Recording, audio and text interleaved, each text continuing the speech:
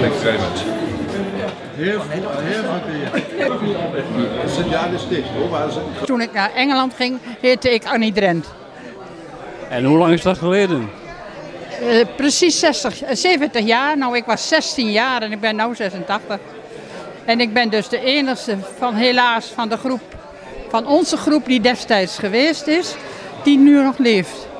Want ik was 16, ik was nog op school. Dan ga je niet zoals nu 1, 2, 3 zomaar naar een ander land. Dat was toen helemaal niet gebruikelijk. En nou draaien ze de hand er niet voor om. Dear Mayor, Mr. Mayor, dear Mayoress, dear guests, I wish you a very pleasant stay, although I hope to be uh, seeing and talking to you uh, a lot in the next coming days. Welcome to the Almelo City, the Almelo region, and um, uh, I hope you have, again, have a very uh, pleasant stay among our Almelo friends.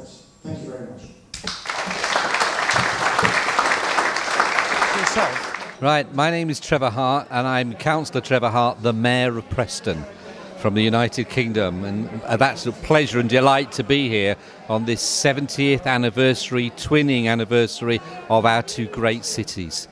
It, it shows the dedication of the people and the importance that we want to forge those relationships and friendships for the good of both city. And this evening, when, when I've come here and, and we've spoken to people and found somebody that was there right at the beginning of when those celebrations of that twinning started, um, it is fantastic. And there, there are lots of stories going about how people have enjoyed those partnerships and worked on them year after year after year. It's fabulous.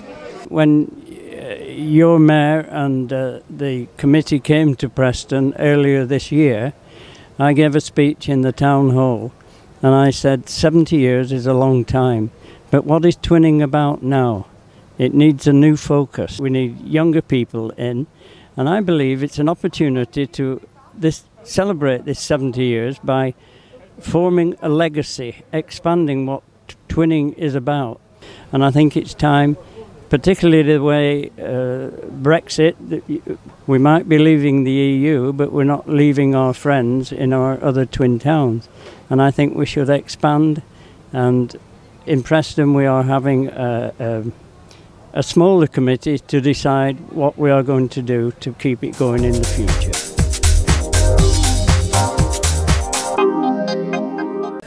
In Nederland zijn er 2,5 miljoen laaggeletterden. En dat aantal is groeiend. Daarom is er taalpunt. Tot en met 9 september is het de week van de alfabetisering. Daarom, en ook vanwege het vijfjarig bestaan, organiseerde Taalpunt Almelo een taalochtend en taallunch. U hoort interviews met een voormalig laaggeletterde en een taalcoach. Ja, ik was eh, ja, een jaar of zes ging ik naar de basisschool. En toen eh, ja, kon ik niet meekomen de eerste klas. En vroeger werd dat gewoon... eh, ja, als je niet mee kon komen, dan eh, ging je naar de BLO. Dus ik heb de kans niet gehad daarin. laaggeletterdheid stijgt. Dus eh, een kwart van de mbo'ers gaat laaggeletterd van school af tegenwoordig. Ehm, als je een kind niet voorleest of je groeit op in een omgeving waar taal niet zo belangrijk is of waar niet zoveel aandacht aan wordt besteed, ja, dan raak je toch vrij snel achter. Formulieren wat je moeite mee hebt, kookboeken, borden, eh, treinkaartjes. Ja, overal heb je problemen mee. Maar ja, ik had gelukkig wel eh, mijn dochter natuurlijk, hè, twee. Dus eh, die deden heel veel voor mij. Eh, hoe zit het met die laaggeletterdheid? Ik dacht dat iedereen zo langzamerhand wel naar school was geweest en eh, kon lezen en schrijven. Ja, dat is helaas niet het geval. Ehm, we merken dat, eh, dat er gewoon echt wel veel laaggeletterden zijn. Ongeveer 2,5 miljoen in Nederland. Ehm laaggeletterdheid is niet alleen moeite hebben met lezen en schrijven, maar ook met spreken, eh, luisteren, gesprekken voeren, eh, rekenen, soms zelfs digitale vaardigheden. Het gaat heel ver. Het betreft je hele leven en alles wat je daarin doet. En niet alleen maar eh, één keer per dag een briefje schrijven, maar het gaat om 24 uur per dag dat je ermee wordt geconfronteerd. Nou, toen mijn dochter mij eh, heel stiekem opgegeven voor, ja, voor de stichting lezen en schrijven. Dus ze kwam thuis en ja, er komt iemand bij je praten. Ik zei, hè? Bij praten? Ja, ik heb je opgegeven. Dus ik was ontzettend kwaad op haar. Ik heb echt, eh, nou ja, ik vond het niet leuk natuurlijk, want het is toch, eh, Hè, je, ze komen toch in jouw uh, comfortzone natuurlijk. Want je schaamt je er natuurlijk wel voor. Hè? Het is een hele grote drempel die je over moet stappen. En uh, ik heb er heel diep nagedacht ja, gedacht om dat uh, aan toe te laten. Want ik weet nog wat ze voor de deur stond, dat ik nog dacht van nou, ik, ik doe het niet. Maar ik heb haar binnengelaten en ja, dat was eigenlijk mijn geluk. Er ging echt een nieuwe wereld sowieso voor me open. Om, ja, om te leren lezen en schrijven. Ik ben heel erg blij mee dat dat kan. Een stuk zelfstandigheid erbij. Ja, absoluut. Je bent, uh, ik ben veel meer te, de onzekerheid is veel minder geworden voor mij. Uh, ik durf veel meer.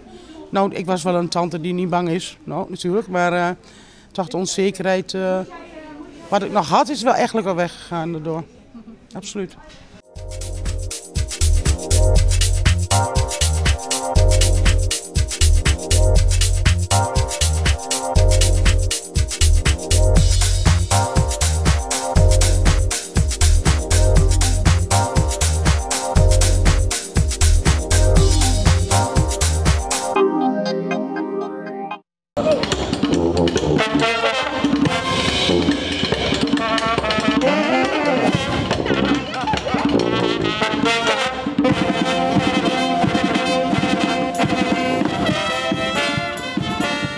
Paco Plumtrek opent het seizoen dit jaar met een spectaculaire kroegentocht. En dat is helemaal nieuw in Almelo.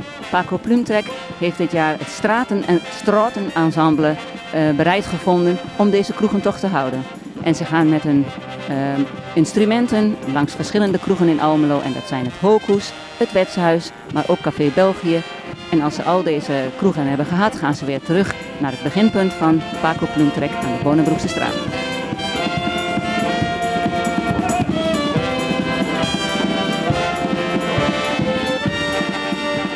En wanneer beginnen jullie voorstellingen? Volgende week zaterdag, 15 september, hebben we de eerste band weer, Halfway Station.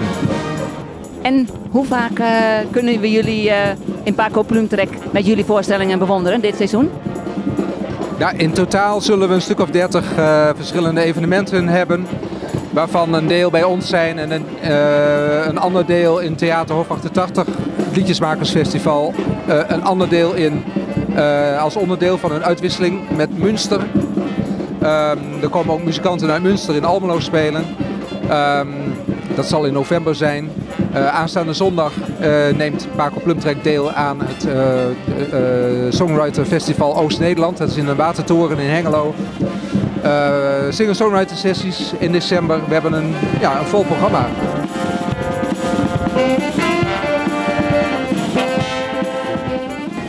Ondertussen, ondertussen even wat vragen.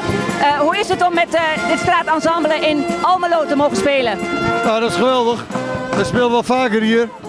En uh, de jongens die dat regelen, die hebben een goed doel. Dus daar doen we graag aan mee. En wat is dat goede doel? Nou, wat ik ervan begrepen heb, ze willen een mooi pand in plaats van afbreken behouden, eigenaar van worden en dan daar iets moois voor cultuurdoeleinden gaan gebruiken. Speel je al lang in dit ensemble? Zeg je? Ja, Speel je al lang? Ja? ja. En uh, waar, waar, spelen jullie allemaal zoal? Almelo, in Almelo en in Almelo.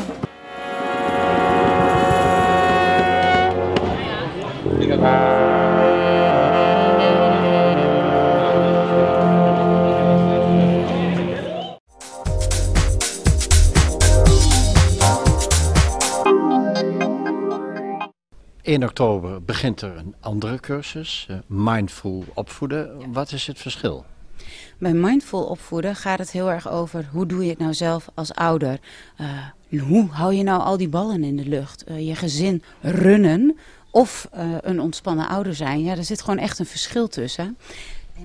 En mindful opvoeden gaat dus echt over hoe je dat als ouder doet. En in positief opvoeden zit ook meer opvoedkundige handreikingen van hoe beïnvloed je nou het gedrag van je kind. Ik kan me voorstellen dat het uh, moeilijk is om te erkennen dat het in je gezin even iets minder gaat en je dan toch op te geven voor zo'n cursus. Ja, en tegelijkertijd is het ook vaak uh, de herkenning. Oh, ik ben niet de enige die het lastig vindt. En ehm, eh, ouders benutten niet alleen de cursusleider, maar die benutten ook elkaar. Hoe doe jij dat nou? En dat geeft in de groepen wel een stukje ontspanning. Maar wat u zegt is waar. En uh, zeker ook de almeloze nuchterheid is, ik los het zelf wel op.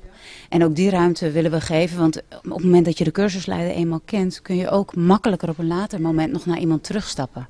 Wanneer is het moment aangebroken dat een ouder zegt: En nu ga ik het anders aanpakken? Nu geef ik me op voor de cursus. Het is echt wel verstandig als u bewust na gaat denken over het opvoeden.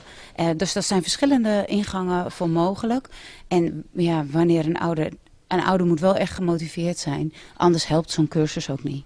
Hebben de ouders na het volgen van zo'n cursus uh, voldoende handvatten gekregen om uh, nou, de opvoeding wat beter op de rails te krijgen? Nou, ik hoop het. Maar een cursus is natuurlijk een hulpmiddel. Uh, het zijn in de cursus kleine stapjes die je zet, die je thuis verder moet oefenen. Dus dat is wel iets van de lange adem. Maar daarom is het ook fijn dat je altijd bij de cursusleider nog weer aan kunt kloppen. Of bij een van je cursusgenoten. Kun je iets vertellen over de ervaringen van ouders tot nu toe die uh, deel hebben genomen aan de cursus? Of een van de twee cursussen? Uh, het zijn kleine stapjes die op de lange duur hun echt helpen om met hun kind uh, een andere route in te slaan. Erkennen dat iets zo is, dan de bewustwording en vervolgens het geleerde in praktijk brengen. Ja. Nou, dat is ongeveer uh, inderdaad de opbouw. En uh, het positief opvoeden, het is eigenlijk in de basis net zo eenvoudig als, als de titel. Uh, een positieve houding ten opzichte van je kind. En je kind een veilige en stimulerende omgeving bieden waarin het zich kan ontwikkelen. Ja, dat is eigenlijk wat elke ouder wil.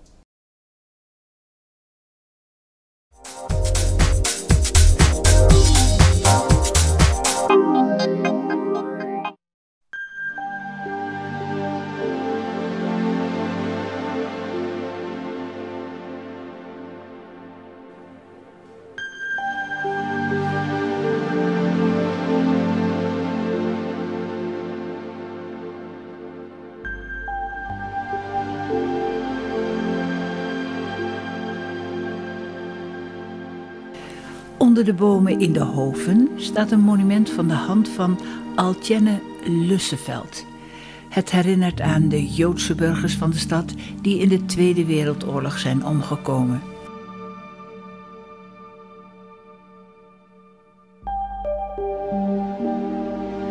Het monument is in de vorm van een Davidster met gezandstraalde handen gemaakt naar ontwerp van de Almeloze scholieren.